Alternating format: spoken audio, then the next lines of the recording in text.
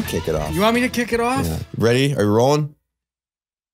We are live. Mat Best, Jamey Caldwell. How you doing, sir? Good, really good. It's uh, awesome to be in Texas. It's just like a nice little uh, Texas fall day today. It's like 68 degrees. We have some hot Black Rifle coffee. Man, I am. This is a good day, Logan. It, it cooled down a little bit, and uh, Jamey was up in up north a little bit in Dallas area. Is that yeah, right? Fort, Fort Worth. yeah, and you're doing a bunch of training up there, yeah, doing right? some rifle pistol stuff, doing some NVG training, and uh, yeah, it was it was a hot weekend. Saturday and Sunday was 90 degrees on the range, so this kind of cool morning is very nice. I feel like if I owned a, a training company, I would just shut it down from about May to like September in Texas because it's so fucking hot out here. That's when you start heading north. yeah, Yeah, yeah. so you almost like kind of the fishing tournament trail. We you know start off down south in the in the early part of the year where it's nice out, go down Yeah. Florida, Texas, and then try to work your way north Exactly. so the weather stays nice.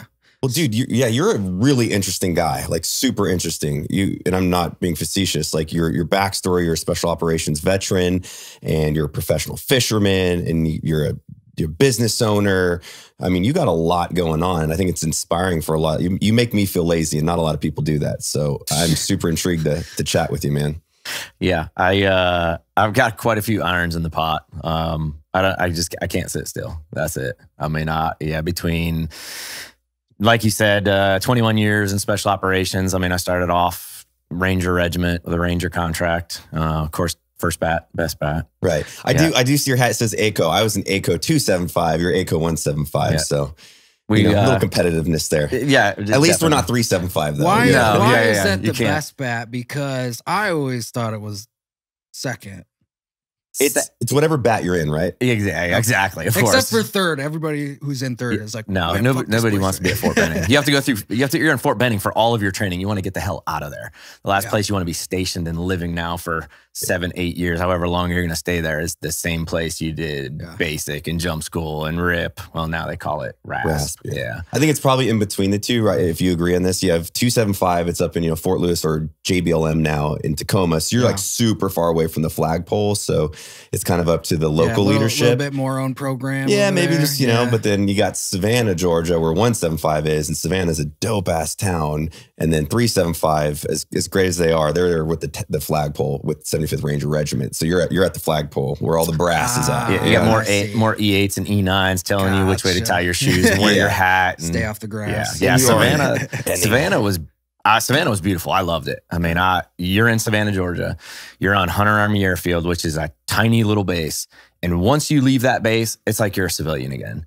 So you, as soon as you step out into the world, I mean, you don't see Joe anywhere. You ver- rarely see uniforms, uh, and the weather's beautiful. I mean, uh, it's it's Savannah, it's the beach. Uh, I mean, I guess we kind of had a nickname as the Beach Boys, us wearing our Oakleys around, and you guys were pretty much just wearing your raincoats and Yeah, exactly. Where like the weather in Washington never knows if it needs to rain or like not. It's always just misty and sprinkly. I, I, forget, I think I forget that because like at you know two seven five, you have the huge base there, so everywhere you go, it's military guys. And luckily, when I was in, we had the more relaxed haircut, so we kind of I'm a civilian, and girls are like, thank God, military guys. Ew. I'm like, yeah, ew. Uh, pull out my driver's license instead of my CAC card. Don't worry about it.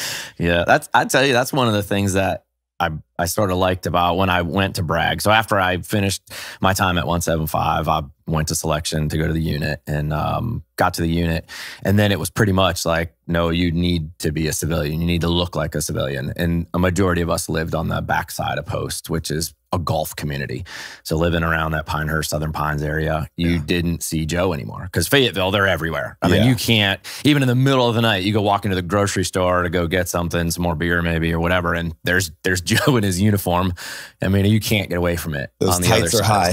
Yeah. All those high and tights down there. Oh yeah, it, it was bad. But you know, now that Fort Bragg has grown so much, because I'm still there, uh, retire out of there after being there for so long, you just kind of roots are dug in. But more and more of them have figured that out, and the base has grown. So now there's a ton of Joes all over Southern Pines area. So you can't get away from it. I feel like it's that nice kept secret of Southern Pines because uh, shout to Southern Pines Brewery. I love those guys. Great beer over there. But I feel like it's it was a little nice kept secret. And then the Joe slowly Yeah. getting out there. And you're like, dang it, man. This was because every time I'd go visit Bragg, that was what I would do. I'd go up to Southern Pines and just chill up there because it's such a low key town. I love it. Yeah, it is. It's nice. I mean, the the a lot of guys stay at the Jefferson Inn, which is right there in downtown. So you got all the different bars and breweries, O'Donnell's. Um, yeah, you can you can just walk to anything, and it's it's kind of a cool old hotel.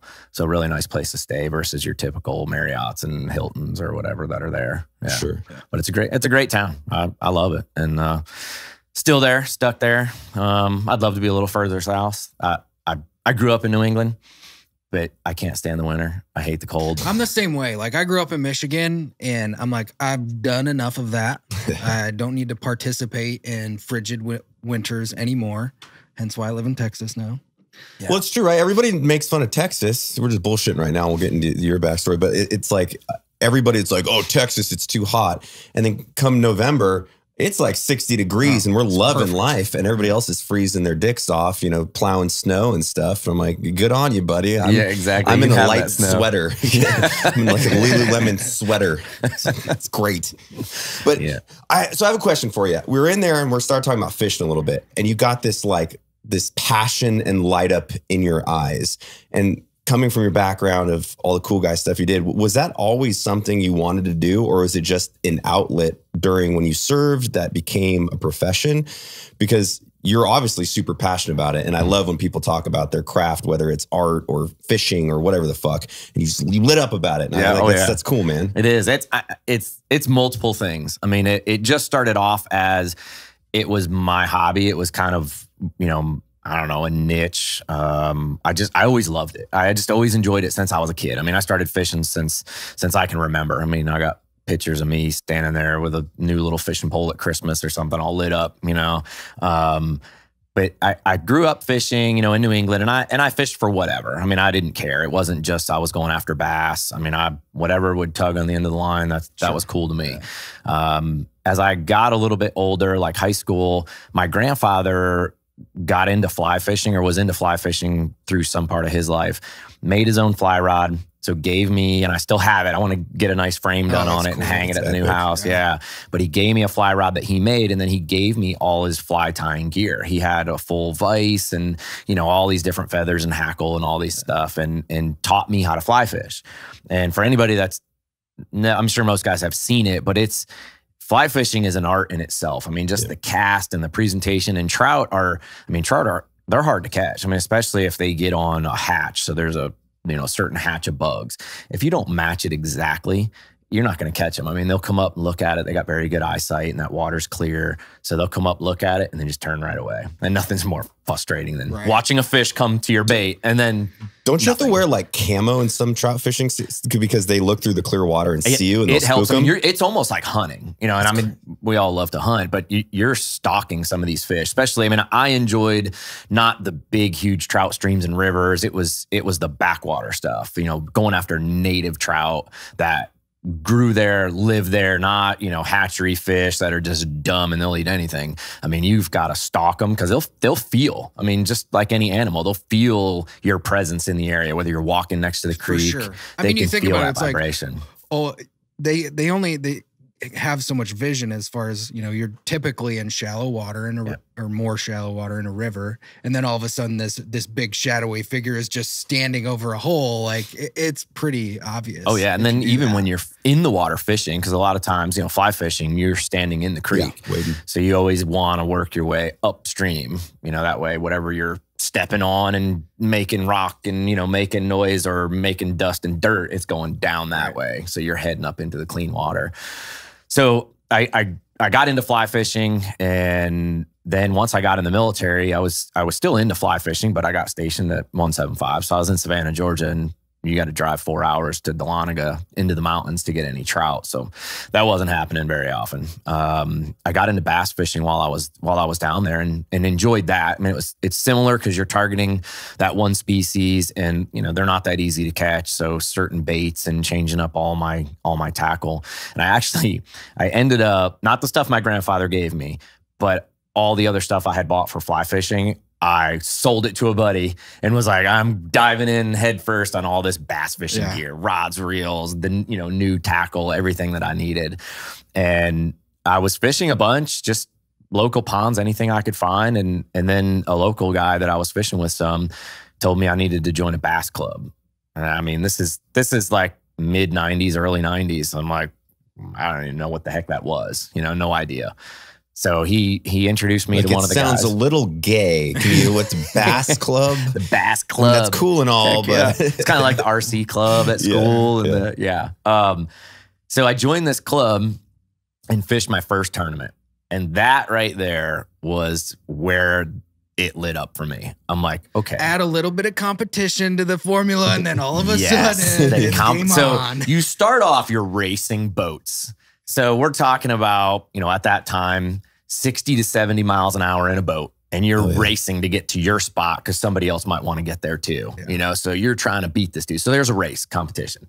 Now you got money involved. So you're trying to win money. You've thrown some money into a pot, you know, to, to try to compete.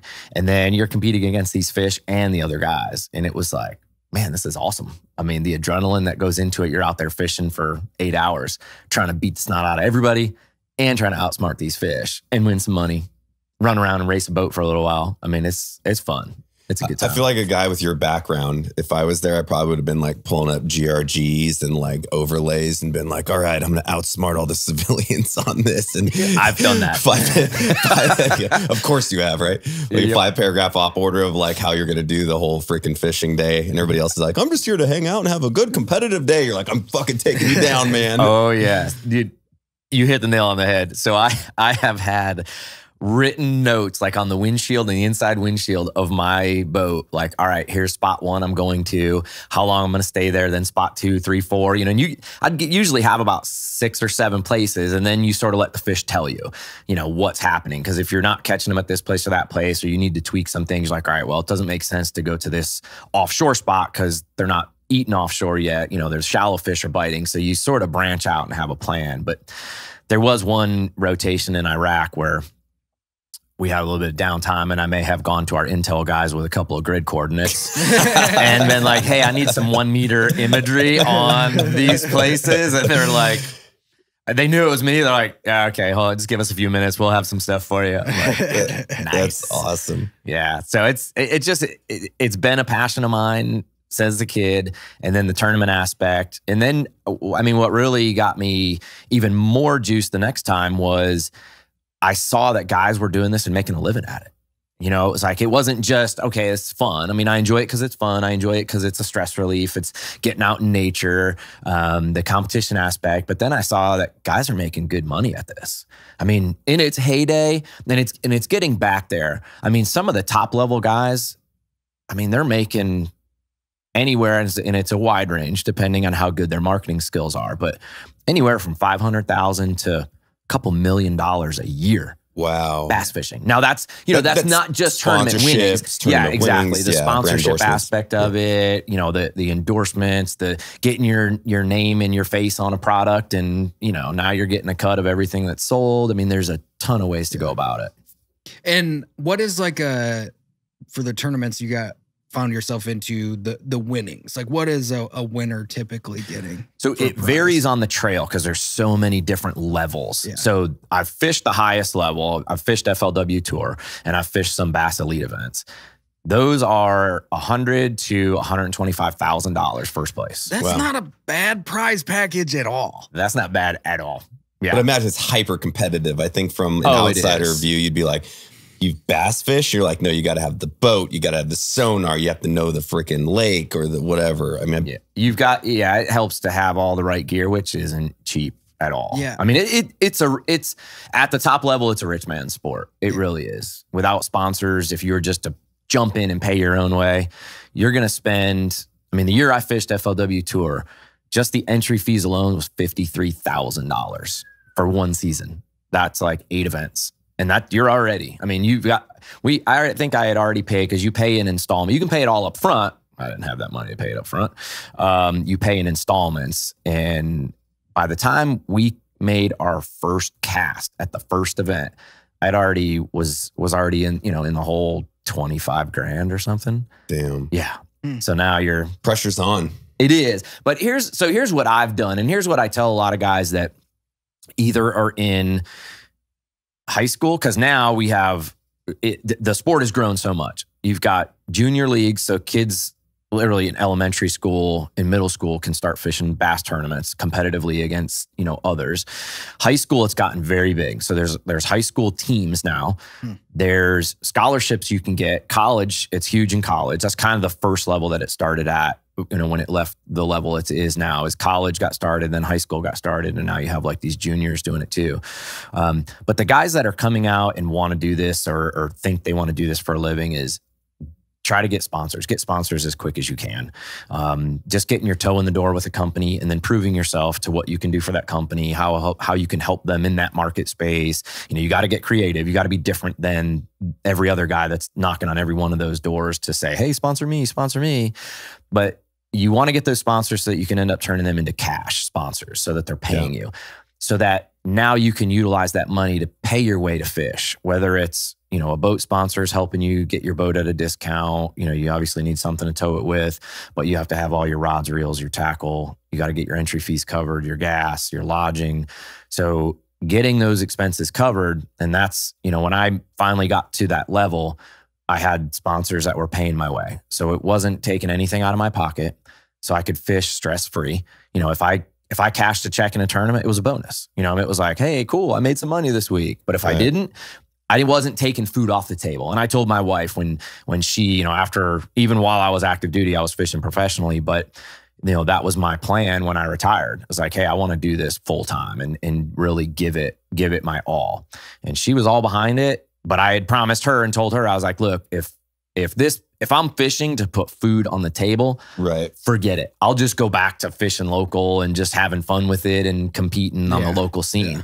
You know, like I'm not going to put that stress on me, on us, on our family, you know, because it's there's a lot. I mean, there's there's plenty of dudes out there that are doing it with second mortgages on their houses. I mean, it's the sport looks so glamorous from the outside, but if you dove in on the inside and looked at half the guys that are fishing it- you you'd Well, be like, what? It's probably very uh, um, in line with like mixed martial arts in the sense of people are like, "Oh, you're a prize fighter. You must you made twenty thousand dollars for one fight." Well, these guys are fighting once or twice. That's forty thousand dollars a year, Right. and then their their coach fees and their training fees, and then if you get injured and it's just the same thing, like maybe you didn't catch the biggest bass, and you had to be completely reliant on prize money. It would, it would definitely be a tax on the old psycho- psychology. of your definitely. So sponsors help. I Yeah. mean, that's you know, and I. Hey, shout out to Black Rifle Coffee Company. Yeah. Woo.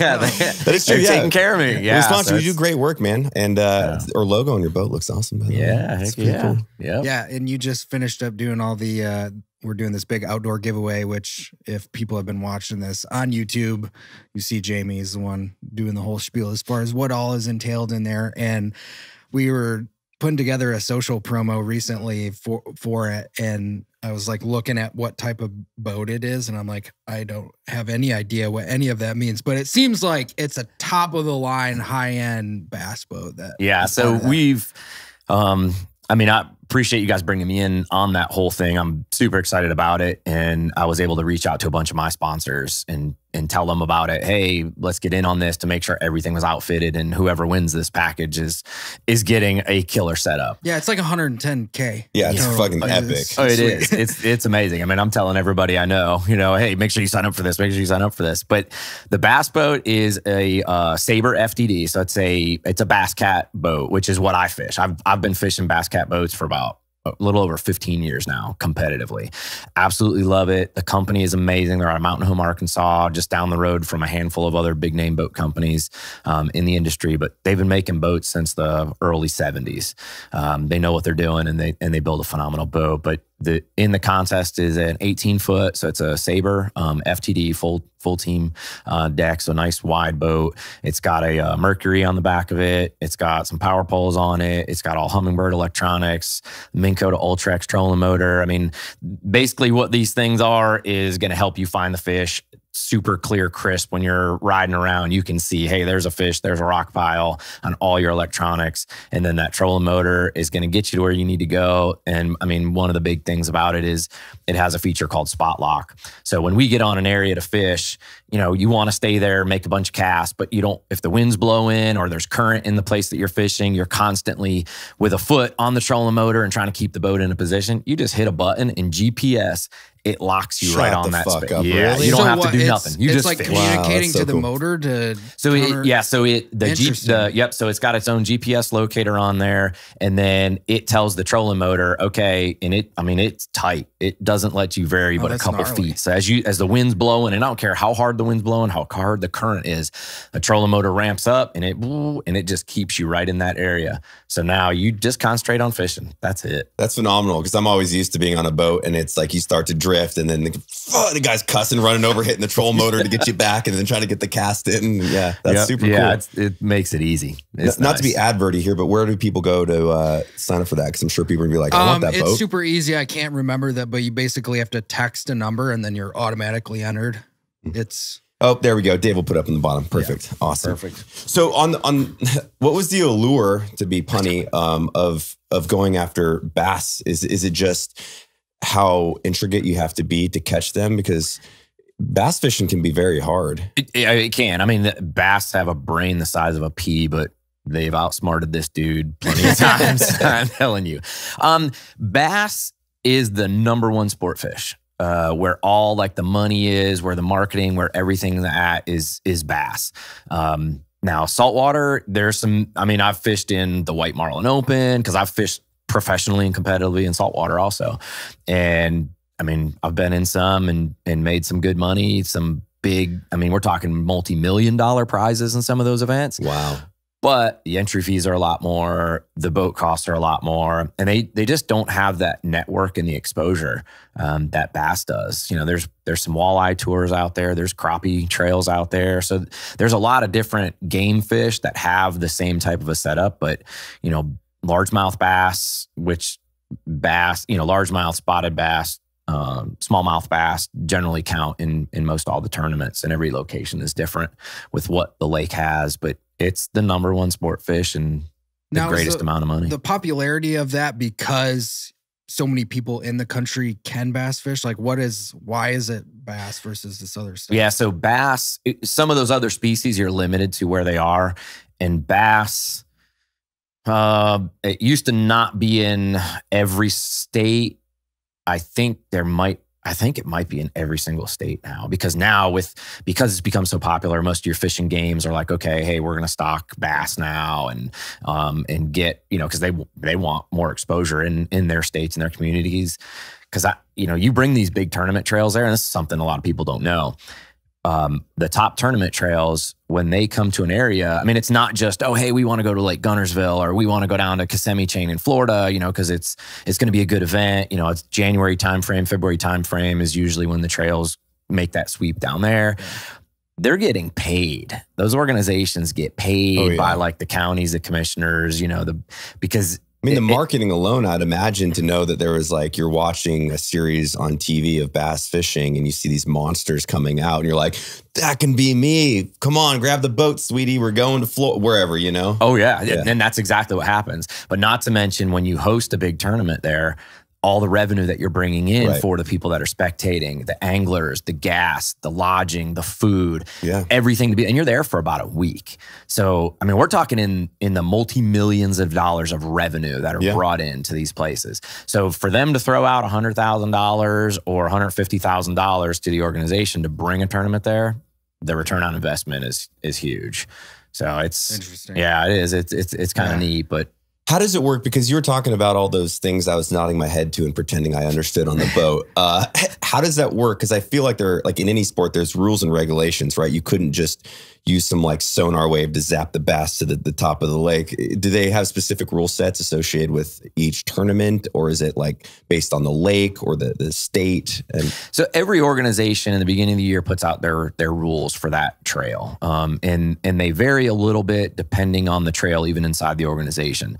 So you, when I say organization, you have BASS, which is pretty much been around the longest. That's like your elite series and your Bass Opens or your professional levels. Uh, and then you have FLW.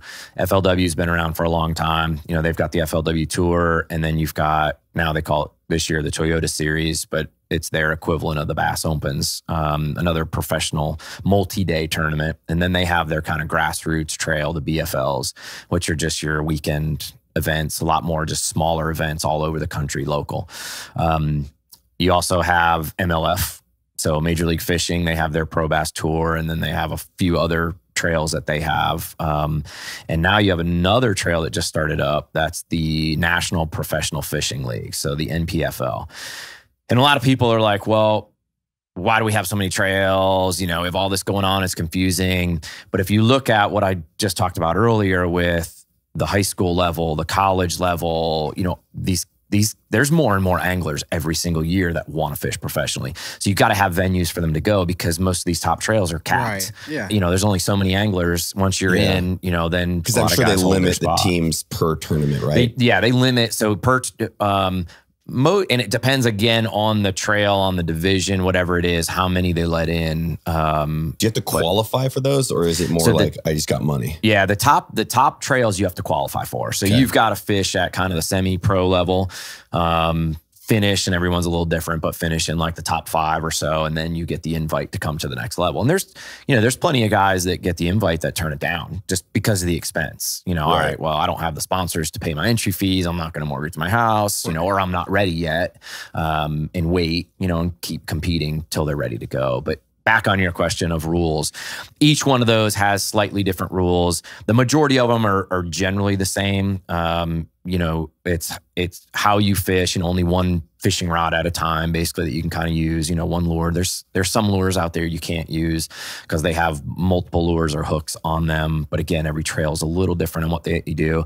But as far as the electronics and the technology goes, you know, everything that's out there you can use, but you yeah you can't go out there with like some you know arty simulators or some you know some Some dynamite. flashbangs Some maybe depth and- charges. yeah, you know? you're the old. I don't know if you remember the old RL39. So the old hand crank uh, combo telephone thing. yeah. You put Yeah. some wires in that thing will shock you. Yeah. Throw some wires in the in the pond and crank that thing up and let some fish bubble and surface. That's pretty Oh, yeah, innovative. I I like won the yeah, hey, I got this. Now, so here here's a here's something that does happen. We we've talked about the amount of money that's in some of these tournaments, right? So of course you're going to have guys that want to cheat, right? They're like, well, why do I got to go out there and try to Can catch these Yeah. fish? If I cheat, hey, I'm going to just make this oh, money. Oh fuck! I bet people are they like buying them at the supermarket or something, then putting them in their live well and be like, You- "I must have died." yeah, they'll. I, we'll go into some of the stories. I'm excited. It's it's amazing how much i- in life people are willing to cheat to get ahead, and if they put half of the energy into what it took to cheat to be a professional in that capacity, they would probably be top tier. And you're just like, took more effort cheating than it did just fucking fishing. Oh man. yeah. So there's not to go into crazy all details. So the probably the most elaborate one that I've heard of recently, and this was even a couple years ago. So some of the tournaments they randomly put a non-boater or, or a um, an amateur in the back of your boat. Now you're competing against each other on the spot for fish, but you have different prize money. So, you know, you're not necessarily competing against that guy, you know, for winnings and for money. He's fishing against just all the other amateurs that are out of the back of the boat. But they do that randomly because you don't know who that guy is. And obviously, if I go and I, guys have done this, just motor my boat up to some sunken basket, Yeah. pull the string and pull the basket up, which I've already preloaded with five giant bass that I caught a week ago Right. load them and put them in my live well, yeah, the dude's gonna rat on you, you know, because he's like, dude, what do you do? You can't do that. It's against the rules, you know. So as soon as you get back, or he's calling the tournament director saying, hey, so and so just did this, you're disqualified. So here's what some guy did. And I think it was out of Texas, fishing some because Texas has got a lot of Yeah. big tournament trails. You know, the more entries you get, the more money you can win. So this guy was going out pre fishing, catching big fish. And then he would like tie them off to a piece of structure underground. So let's just say a stump. So he would tie them off to like some stump with maybe like four pound test line. So fairly light line and then tie it through the fish's mouth and just let the fish swim around the Yeah. stump. That's all it could do. He would come in there in the tournament with a guy that in the back of the boat he doesn't know. He just him and snap the light pound test. Yep. He'd just start casting around till he caught the line. And you can feel it when you catch the line. So he's oh, reeling, reeling, reeling. As soon as it stops, it's on the fish. You just set the hook and it snaps that lower line. The treble hooks just dig into that fish. He reels it in, flips it in, and quickly, you know, undoes or cleans off the fishing line, throws it in the boat. He got caught because somebody saw him doing something suspicious on the water during like practice. They went over there, checked it, found it, called the game warden. Game wardens came out, saw it, like marked the fish, and then I think sat in the wood line during the tournament, watched the dude come in and do it. As soon as he walked across the stage, and it was a felony charge because you're talking sometimes, you know, 20, 30 grand in Yeah. even some of these smaller tournaments Yeah. that that guy would have walked off with. I mean, that's a fairly ingenious plan if you think Somebody, about it. like Put you it on said, like two were test. thinking, yeah, way With- too hard. And Was there, did no one like catch him when he's got like, you know, 80 pound test on his bass rod and he's just like, no worries, ripping the gills off the damn fish? Uh, but um, kayak fishing's become very popular. So a lot of guys Okay. going out, and there's tournaments now where you're out there kayak fishing, but they don't have live wells, so you can't bring those fish back in. So they have, and they they have special rulers, and you have to lay the fish on a ruler and then take a picture of it, and then you send it in, or you just write it on paper. So guys were going in and they were modifying their ruler and taking a couple inches out of their ruler, putting it back together.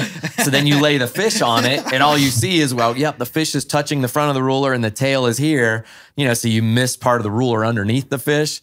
And there's like, yeah, there's a few inches missing. So they go and catch a 12 inch bass, but it's no, it's a 16 inch bass on my ruler. Yeah. If it can be done, it will. Oh, yeah. Guys are going to find a way. No.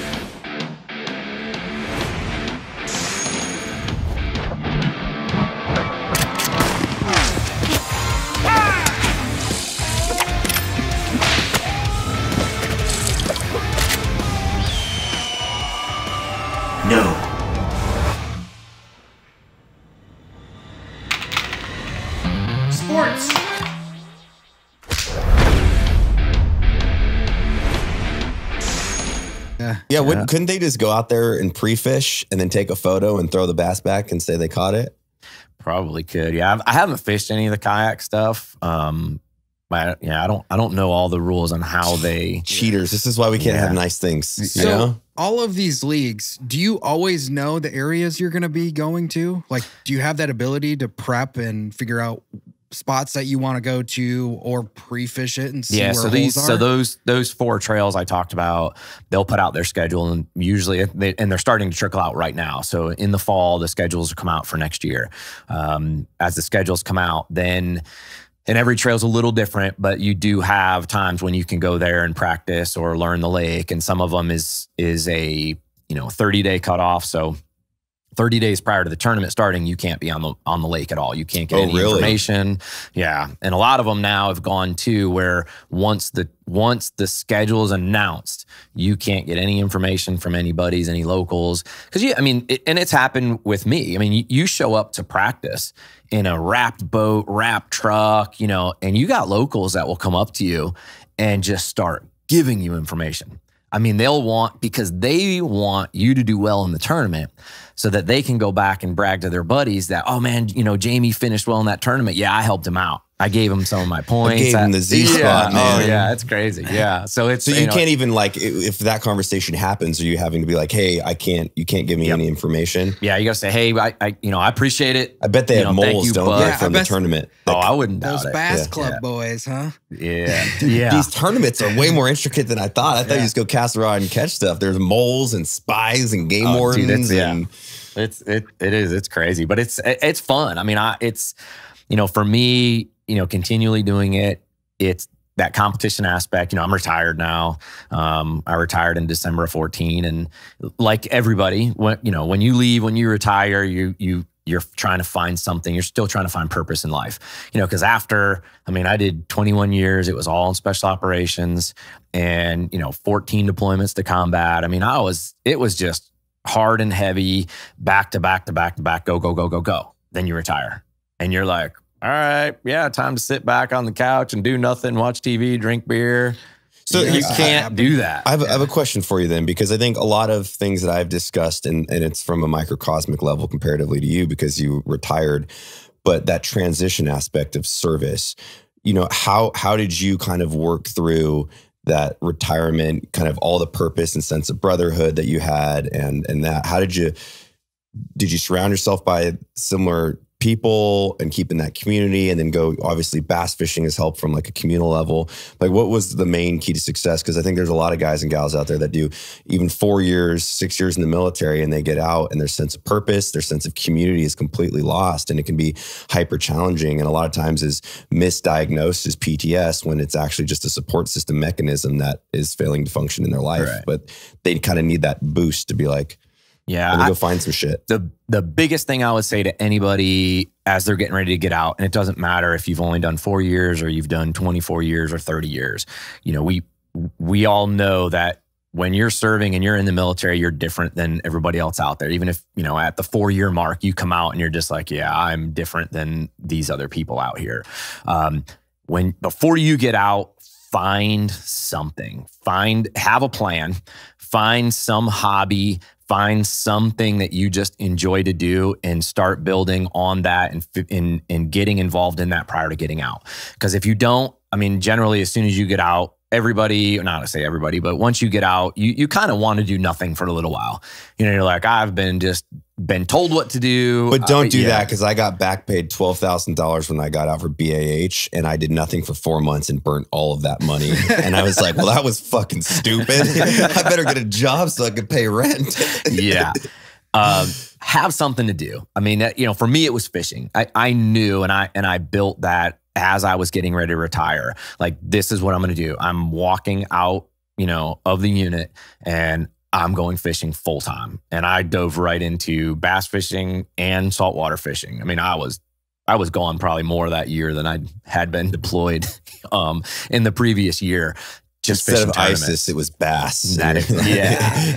they were yeah they were my mortal enemy um so you you have to have something you've got to have something and you know i mean for some guys it's just simple like woodworking you know Yeah. or it's it's you know painting. I, I don't care what it is. You everybody has a hobby you know and, and there's guys and you know you look at me coming from the background i did where you know people are like you did that and now you're bass fishing? And you know there's another dude that i served with um louis uh he races motorcycles you know and he is freaking damn good at it i mean he every time he is on the podium uh Yeah. but that's his that's his gig you know that's his outlet and and you build a brotherhood doing that you know the all the guys i mean it, it's I relate some of the guys that I bass fish with and travel with, and, and I have a tight knit group of guys that we share information.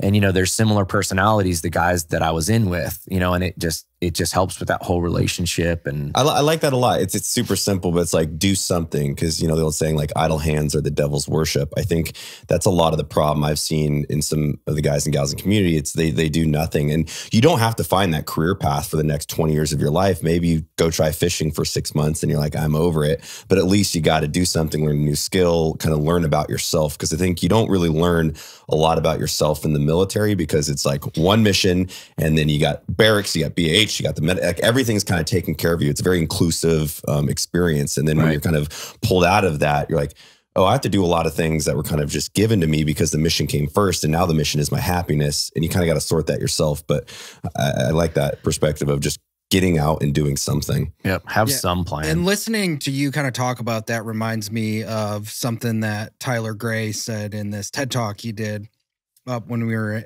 in Washington. And he was kind of providing his view on like the traditional take on what it's like to get out of the military and, and the whole PTSD stigma.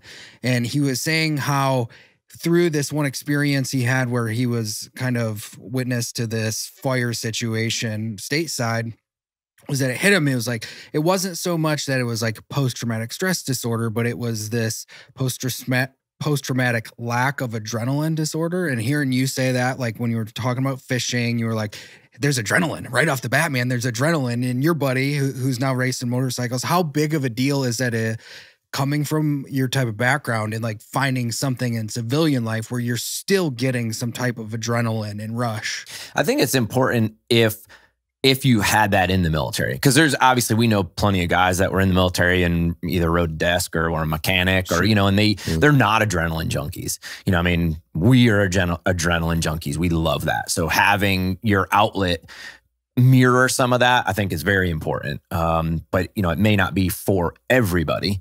Um, you just got to figure out you know what do you need for yourself? And it, i mean the other side of it too is like you're you're gonna have some issues you, you, there's no way you know even even what i had i i feel like i built a great plan.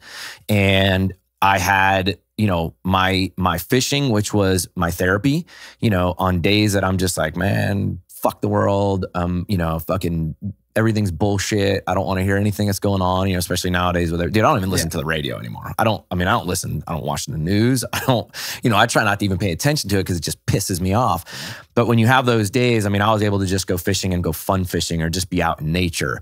Um, you know, on the days where I'm competing, I mean, I have that adrenaline piece to it. But you're still gonna have you're still gonna have some issues. So you're not alone. That's the biggest thing. And it, it I mean, a light bulb went off. You know, I was still I was still in the unit, and I mean, it was probably after my 10th or 11th deployment my wife was starting to notice some issues with me. And I didn't want to say anything, and nobody wants to say anything because the last thing you want is to get pulled off a team, not deploy. Yeah. And it's not necessarily that you're like, well, I I I need to fix myself and okay, I'm gonna go do this. It was, well, I don't want to let my buddies down.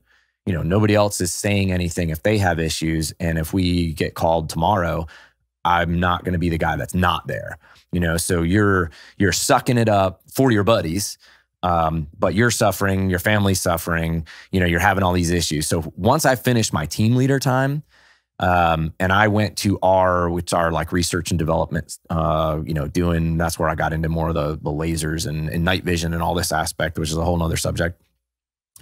I finally went to the docs and i'm like hey i got some issues. And the first words out of their mouth were you're not alone.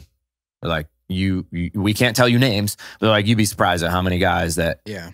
are are come in here and and need help you know? So let's get you set up. Let's you know talk to the doc. Let's you know figure out what we need to do and you know start start getting you better figure out exactly what's going on. And that was kind of like a light bulb moment for me to go wait really? Like other dudes Yeah. are having this issue? You know because Well, in large, you don't want to raise your hand. It's part of the culture that makes, um, you know, special operations units so effective and efficient. Is it's like mission first, and then sometimes that can snowball and just devastate family life, home life, and you you, you hear it coming out of a lot of guys have been on those plus 10 deployment cycles because that's a decade of deploying into direct combat and you never looked out for yourself. It was always the teammates first and that, that's a great point and, there, and there, the good thing with that i think a lot of the units are recognizing that now Mhm. and then not to mention a lot of resources on the side as far as nonprofits actually working with government grants to get people in like warriors heart foundation with tom spooner and if they have an alcohol problem because they turned to self-medication because they were didn't want to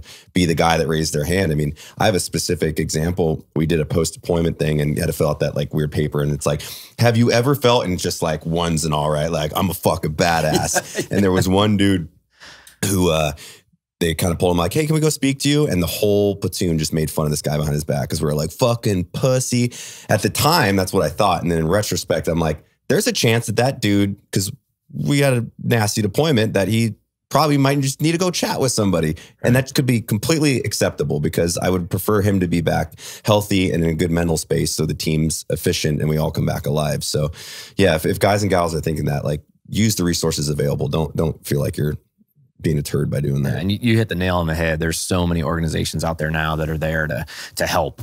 You just, I mean, you have to take the first step and just raise your hand and just say, "Hey, uh, something's not right." But know that you're not alone.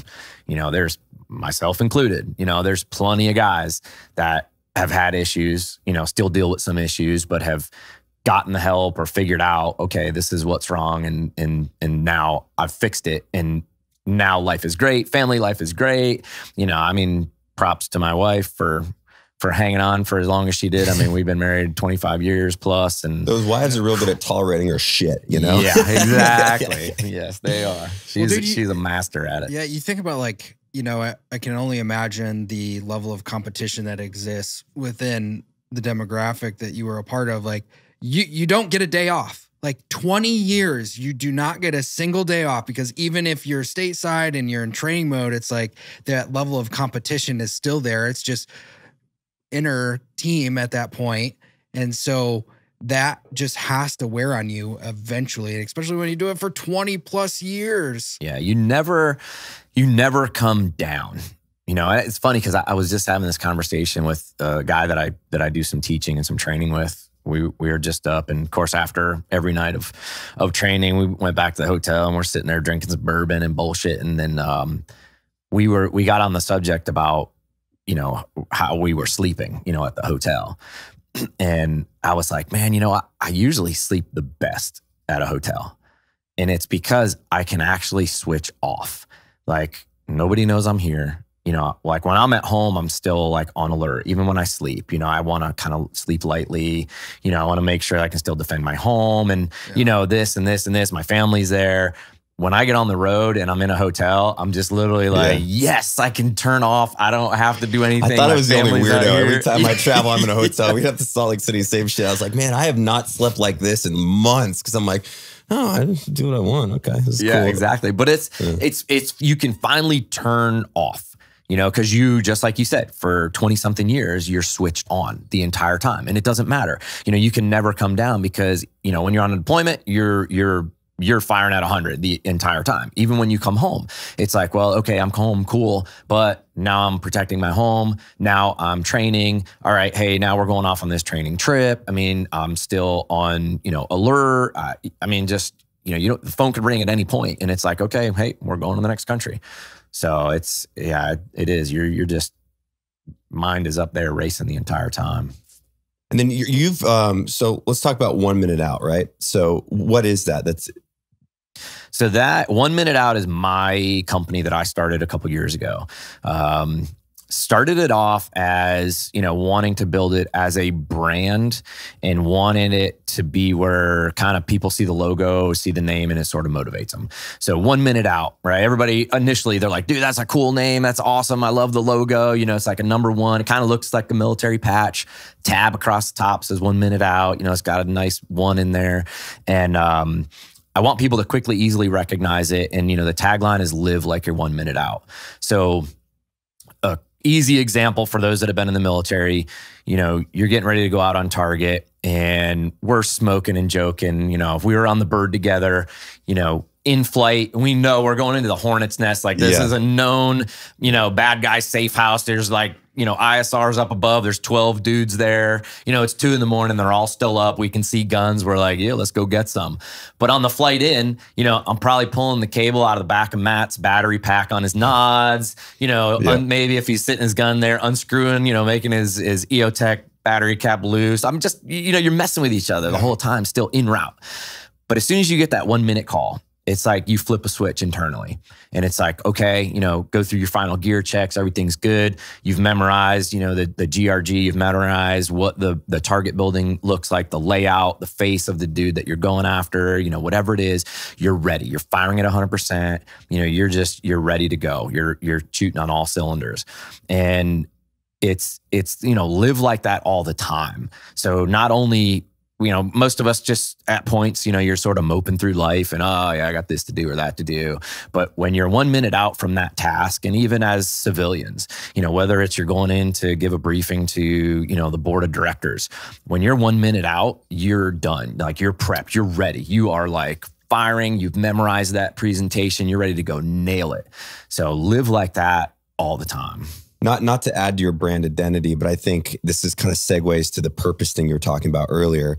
But it's interesting for me that people that have, whether you're a civilian or anything, it's maybe not always the one minute out, but they never have that feeling of being one minute out.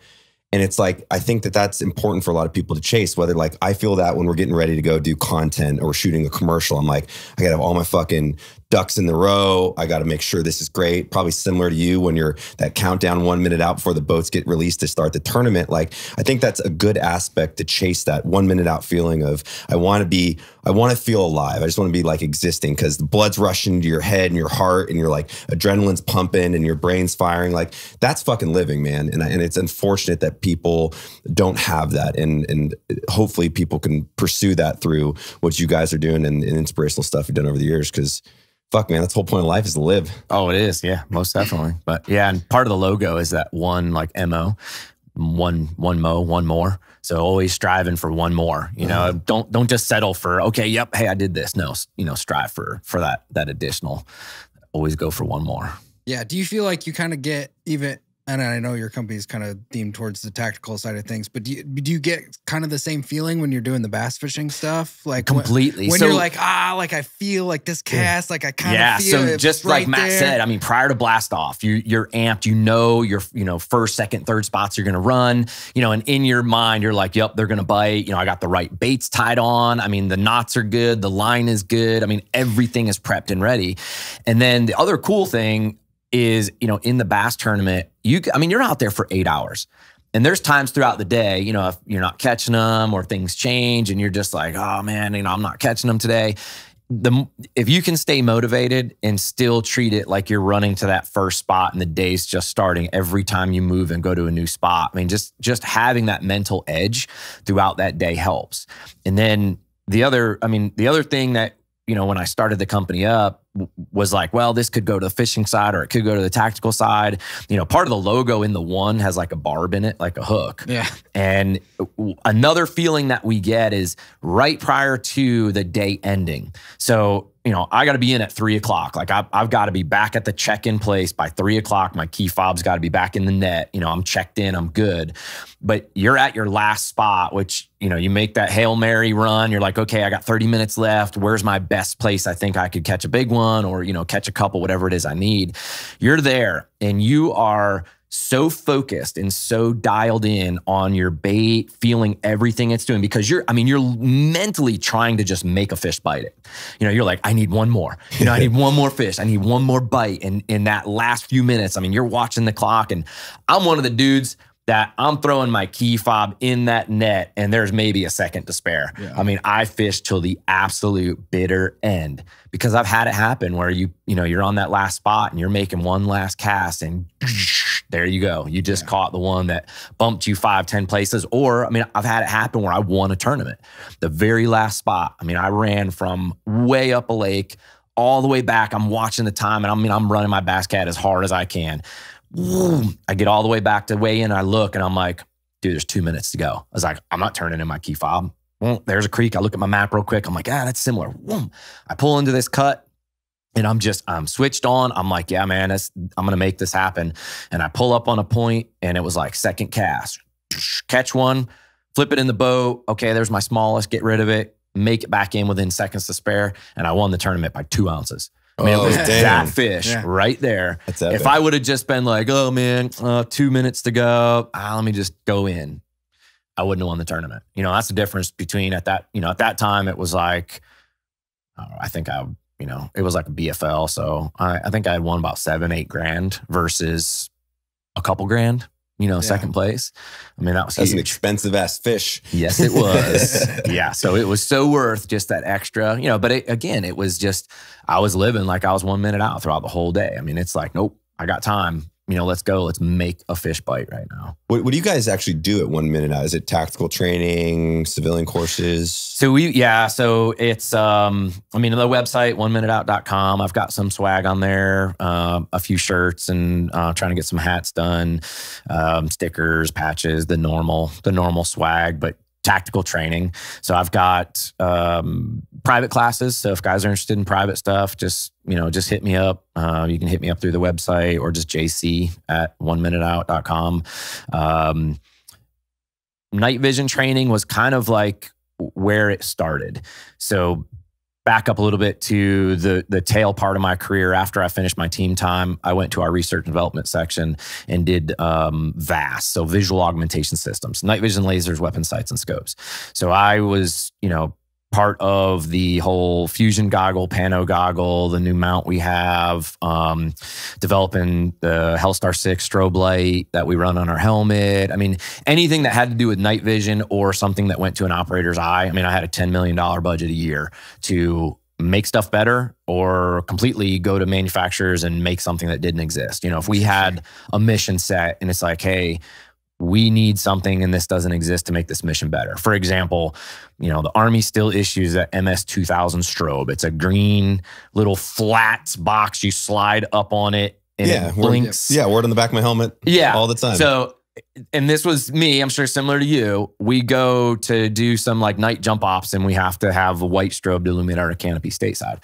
And I'm taping and Velcroing this thing, which is flat, onto a curved helmet. And I'm like, this is the dumbest shit ever. Those things fall. Yeah, you like Yeah. you try to Velcro it I'm- this way, and they're doing Yeah, like a I'm like, an X on it. Yeah, I'm like, why has somebody Yeah. not made something that actually is shaped to the helmet? Because we put this strobe light on our helmet Are you all the telling damn me you time. helped make the new one? Yeah. Oh. So the Hellstar 6, right? Four function strobe light that Core Survival makes. That's when I got to CDD. I'm like, I'm going to fix this problem. This is one of the things that I'm going to do. So I got up with uh, the owner, Marsha Baldwin at Core Survival, and was like, hey, here's what I want to do. She's like, no problem. We'll do it. So we developed a four function light. So it has four different modes. Two of them usually IR, two in overt, but any different color combination, brightness, flash rates, tweak the whole thing. I mean, it's it's awesome. You can reprogram it and make it different colors for whatever your mission is. Um, so I helped develop that. But all of that stuff that I was doing, um, you know, in that's where I really started to learn a lot more about night vision, like the technical aspect. Obviously, through my whole career, I've spent under night vision using lasers and just sort of took for granted how much knowledge and experience I had with that. Now I got out, I have my company, and I was getting hit up a lot by um, some government agencies and law enforcement, like SWAT teams that were just starting to utilize night vision. They wanted training, they're begging for it. So they're like, yeah, I mean, some of them so bad that they're like, yeah, we we've got night vision. We've you know we got like eight sets of PVS 14s. They're sitting in a closet locked, and nobody will let us use them because we have no training on it. Nobody knows how to use it, or we haven't had any formal training. So legally, you know, they don't even want to deal with that legal aspect of something happening. No, because if they make a mistake, there has to be a training document. Well, you went through the proper procedures and had the training. Yeah, of course. So that's what I started up. So my I've got multiple night vision classes. One of them is just a two day operator class. Um, I have a three day class and then a three day train the trainer class, which is what I just wrapped up up there in Fort Worth at Range 35. And we we got NTOA, so the National Tactical Officers Association, which is a huge um, organization for all the SWAT teams in the U.S. I mean, they they help them legally, they help them with training, like certify them, give them all those documents and and training so that they're legal. I mean, they have different levels of SWAT teams. They I developed a 55 round night qualification, so an actual like night qualification shoot. They adopted it and they blessed off on it, saying, "Yeah, this is legit. Um, we we will back this." So when guys come through my course, not only do they get two days worth of two or three days worth of great training, the knowledge on all the gear, we put them through tons of different shooting drills. They shoot that 55 round night qual, and then they leave with a certificate for completion of the course and another certificate saying everything they've been trained on and that they passed and what they scored on that night qual. So in the case of something were to happen, you know, on a on an objective or whatever, and they've got to stand in front of the red carpet because you know lawyers are going to try to hang them out to dry. Nope. Look, I've been trained. I even qualified with my weapon system, with my nods, with my laser. You know, mm-hmm. they've got the documents to to you know to help them out and and do everything. That- so that's awesome, man. Because it is a completely different world. Like your shooting mechanics, your position of your weapon, your laser discipline. It is completely different under night vision. I mean, I think everybody thinks you're like looking through an optic. It's like half the time you're freaking hip firing it or like low shoulder firing it because Yep. you have a really stable platform and you're using your laser. And then how are you zeroing your laser and confirming laser with your EOTech and off paper and on paper? Like a lot of things. Like oh yeah, you know, It you is. like old tricks. You have like I do like one right tube would be far distance because I Mm-hmm. was a master breacher. Then coming up, I'd always put my hand out. So when I got to the breach door under nods, I could do demo with left eye, and then right eye would be my clear eye. That way, you're not like having to pop up knobs and just. Mm-hmm. Yep. There's so many efficiencies there that if you didn't have iteration after iteration, you would never know unless you had a great trainer. Yep, yep, yeah. And we go through, we go through. I mean, e- even our two day class. Every time we finish it, we're just like, man, the, the, I mean, we pack so much information in just two days. I mean, I, I even hate to do it in two days only because we're they're drinking from the fire hose, you know, and it's we give them. I try to give every bit of my knowledge I can out to these guys, and it's you know all those little things. I mean, we teach them how to zero with their laser. We teach them a tough, couple different methods of it. I teach them, you know, the simplest method, and I show them. I'm like, look, you don't need some fancy zero target. You just need a piece of paper. You know, I'll show you exactly how to see what your offset is for your gear, for your equipment, for your laser, what the offset is. All right, we're going to do a parallel zero versus point aim, point of impact. I mean, You- all of it. Yeah, and even like where's your your your PEQ mounted on your Yep. thing because you're gonna have muzzle and sight difference between a standard optic, which would be high and low comparatively if it's on the right mount, and then you're gonna have a different Yep. vertical. It's there's so much And into there. Like so. I'm going to touch on that one really quick. Okay. And this is the biggest thing I see that so many kids miss, by the way. Oh, I'm like, you idiot. They're like, well, Yeah. Sergeant, you told me to hold high. I'm like, on your fucking EOTech, man. yes. So here, here's the biggest thing I put out and tell, and, and it's got it's gotten better. And I uh, we actually wrote wrote like a paper that I think we're gonna we're gonna submit so the article can go out. But just just setting your gun up for night operations. The biggest thing I can say off the bat is if you have any type of an aiming laser, put it at 12 o'clock. Put it on top of your rail. I know you're limited on space and different things in different places, but if you look at every single laser that's out there, whether it's an L3 product, whether it's a Wilcox product, whether it's BE Meyers, a DBAL, they're all set up to be mounted on top because it gets you your laser as close to bore as possible. So mm-hmm. that puts it as closest to the barrel as possible. And if you look at, I mean, this is dummy proof. All the adjustments, left, right, up, down, I was, are dude, on it. I was, so it's I was just gonna say, 12 o'clock. have you ever got that? I used to private today. I'm like, Sergeant, I think my PEQ 15's broken. I'm, it's going down instead of left. I'm like, because it's mounted on the right, you Yeah. shithead. Like, Yes. I'm, I'm Oh, just man. making fun, but they yeah. wouldn't even let us mount it on the right or left Really? because we're dumb, and that's why we call Barney proof. It had to go on top of the rail. Yeah. But that's, I mean, that's where it should be. Yeah. That Right. puts the laser as closest to bore as possible and it makes it easy to adjust. Yeah. Yeah. That's, that works, man. I mean, that's, that's the same as, I mean, the other thing that we talk about in, in all my classes, cause we, we, even in the night vision class, we're going to shoot our day sight first. We're going to make sure everybody's zeroed before we even start doing any shooting. And then we get into the night stuff. But even on, you know, your zero for the day site, you know, I talk about, I'm a big fan of the 5200 zero. So it's the flattest shooting. Um, the army is big on the 25 300. And I'm like, well, the reason why is you've got a whole company of guys that you've got to get zeroed in one day. Right. So try putting them out at 50 and trying to even get them to group is going to take you a week to do that. So stick them all as close as you possibly can to the target. Let them shoot three rounds and go, okay, well, there's the center of your group. Let's just go ahead and move it over a little bit and call you good. Right. But we all know when we went through basic and you shoot, you zero at 25, which you are barely given that bullet any time to do anything when it leaves the barrel at 25. And then you're going to supposedly hit some target at 300.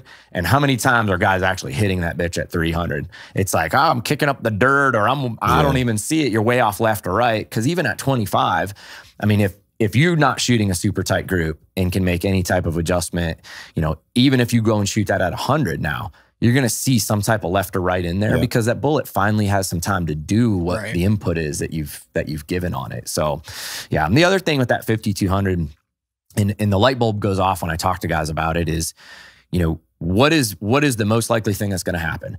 When shit hits the fan, and whether it's a law enforcement guy, you know, a SWAT guy, a military dude, you know, majority of them haven't been in a ton of firefights, haven't had bullets zinging at them. When shit hits the fan, whether it's their day sight or it's their laser, they're gonna go, "Holy shit, somebody's shooting at me!" They're gonna put their dot right on that guy's chest and start and start slinging rounds. Yeah. So giving that whole travel of the bullet and the offset as as little bit of tra- over travel or under or offset you can, you're more likely to hit the target. Where if you know it's rare that somebody's going to go, oh, that guy's shooting at me. Okay, I have a 50 0. That guy is 75 yards. So my bullet is now going to be a little bit high. Yeah. So let me aim a little low. And yeah, no, it's going to be holy shit, dot or laser right in the chest and start slinging them. I think that's like one of like, the most famous stories that came out of like the Mogadishu time. Um, Operation Gothic Serpent was a lot of the Rangers were zeroed at 300 and they're trying to take shorter shots and there's like they're hitting crazy high or crazy low however they had it and it was like never that kind of training perspective of mu- muzzle, muzzle sight relationship and then Mhm. where that zero hits and then you're having the arc and the drop of it like there's a lot of visceral understanding I think you have to have on a weapons platform, the bullet you're shooting, your optics. I mean, it is. And I think that's why it's so important for guys and gals that are going out as a profession that the the thing is you may never use that in a 20 year career. May never, never get a gun find, but it only takes one time. And you have to set yourself up for success because that is the absolute difference between you dying and and saving yourself and or a teammate. And to me, that that that is absolutely something you should be training on an active basis. So, because you're not like exactly you said, you're going to go down to that muscle memory, pick up a gun, chest, let's go. But if you've gone through range iteration and put yourself under stress, you're, you're, you're more likely to make a better decision. Yeah, definitely. I mean, get out there, and you know, everybody that comes to my classes. I mean, I, big thing is the go to as many classes as you can. Go train with as many instructors as you can. Um, just have the common sense to say, okay, you know, that was good, that wasn't so much, and you know, you're going to pull something from every instructor. Don't just go to one and drink the Kool Aid 100 Right. percent because we all teach things a little bit different. Um, you know, you can't just go in and drink it. And I, I see unfortunately a lot of law enforcement guys that will go off to some training course and next thing you know they're changing all their tactics you know they went from doing a low carry now you know they go to darcy and it's like all high port you know Yeah. running through things and Yeah. yeah, don't get me started on that one but you know Uh, well, would you agree? At least I think it's a good thing because, like, six, five, six years ago, the tactical industry was just swamped with these like instructors that had no real life combat experience, and it was like, how do I make this look sexy? And I'm not even poking fun; they're businessmen, but the problem is, is like I'd rather learn from a guy like you or guys that have been out deployed multiple multiple times they're like this is a method it's not it's not law and i think that too often people because i've been to so many shooting courses and i've seen shit work for my friends that i'm like what the fuck are you doing but they're they're they're nailing it where i'm like i carry my gun a little different because i pulled mm-hmm. from this instructor and kind of made like a, a whole different system for myself Yep. Yeah, that and that's exactly what you have to do. Go go train with as many as you can, but pull what works for you. And that's what I preach. I'm like, look, I'm showing you a way, not the way. Yeah. It is a way. And I mean, I keep my classes small. My rifle pistol class that I just did, I had seven dudes in it. Oh, I had a bunch of guys on the waiting list that wanted to get in, but I just I told them no. I'm like, look, that's all I want because that is enough where guys aren't standing around as we're doing and going through different drills, but I can spend a lot of one-on-one time with Yeah. guys and fix or or work on things that they want to work on. Because you get 20 guys in a yeah, I, could I do 20 guys? Sure, I could. I could make a bunch of money doing that. But what are they getting out of it? That's what I'm more concerned about. It's like I want you to have a good experience. I want you to come to my class knowing like, hey, I want to work on this, this, or this, or this is where I'm weak. And I actually have the time to work with you and fix you and get you faster, get you more accurate, whatever your goal was. So you, you get out there, train as much as you absolutely can, train as many people as you can, but have some common sense in what you do. And then, you know, a, a- some good feedback I got from this last class. A lot of guys love, I, I put out this like 90 10 rule.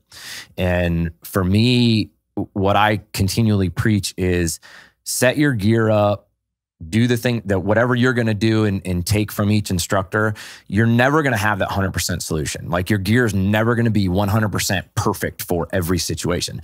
But think about what are you doing? What is your job? Whether you're a law enforcement SWAT guy or you're just a competition shooter or whatever, or you're just an everyday carry type of guy. That's it. You know, you just want to go to a pistol class and learn, you know, more things that are going to help you with your everyday carry not what is the 90% solution for how you're going to be shooting or doing those things you know 90% of the time that 10% of the time make sure that you can access it you know for example like in a night vision class how you have your rifle set up where your pressure pads are how you access your laser and your white light is there a way possibly to perfectly have it so you could quickly do it you know both ways yeah but you may end up with a ton more gear on your gun than you actually need just set it up for that 90% solution, which for me is, you know, I'm a right handed shooter. So I set my gun up primarily for my right hand, you know, to shoot from my right side.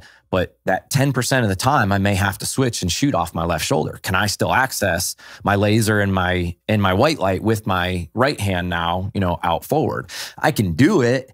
It's not sexy and as fast. I could add another pressure pad here or there and make it that fast, but now I'm adding more stuff on my gun that I really don't need, or I only Yeah. need that 10% of the time. So set your gear up, you know, work your training so that you're you're fast and you're efficient for that 90% solution, but have workarounds for that 10% and practice it on the range. I, completely agree. I, I get a lot of questions on like the concealed handgun and stuff, and it's it's always like, what's the best concealed carry gun? And I'm like, you start with the one that you're down to carry every day. Like Yeah. that's that's that's one for me because wherever you can legally carry it, you should be carrying a gun.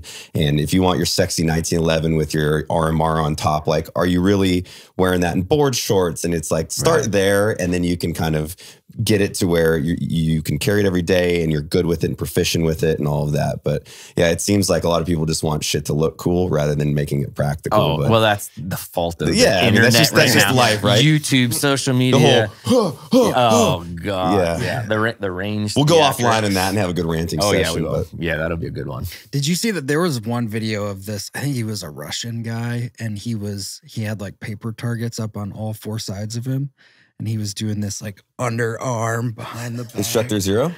No, it wasn't instructor. It was Uh-huh. more recently.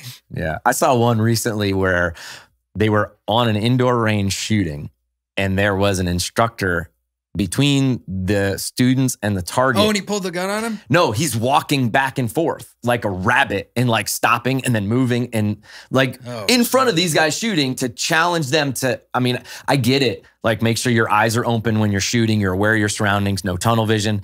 But I'm like, who's the unlucky dude that drew the straw to be the Yeah. rabbit and go back and forth? And Jake, Yeah. you are range monkey today. Go down at 15 yards and jump around like a freaking. What was the old uh, Frogger? He's like the, Oh. the bullet Frogger, man. No, no thanks. It was nuts. I'm like, you got to be kidding me right now. I mean, you're just asking to get shot. And then who's at fault?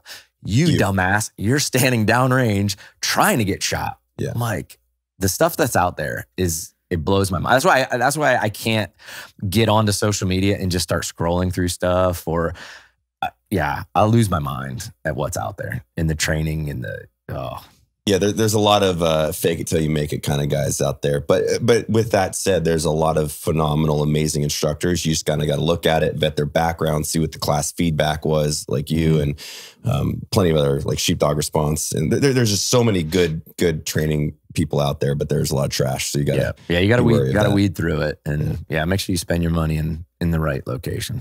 Yeah.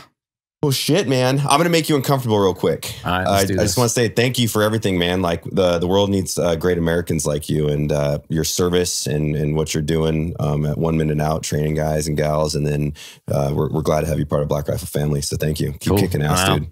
Thank you, man. I, I appreciate it. I appreciate the support. Um, appreciate you guys having me out here. And yeah, it's it's been a blast. It's been a ride. I'm I'm happy to be part of the family and continue to to spread the good word. And, And Logan and I have one shit talking thing to say. When are you, when are you gonna take us fishing, man?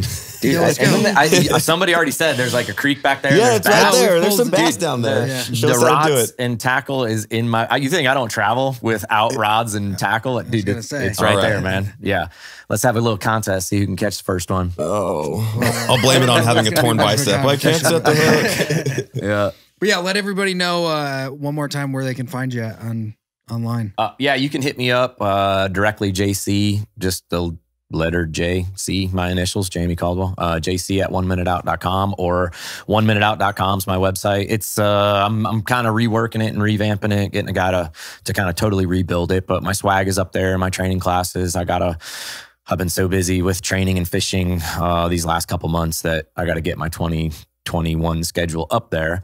But keep your eyes peeled for it. And, uh, they fill up quick. So if you want to get in on one, then you can do it through the website. But yeah, that's that's that's me in a nutshell. Cool. Well, Kick thanks so dude. much, Jamey. Yeah, appreciate Thanks it. for uh, listening to Free Range American.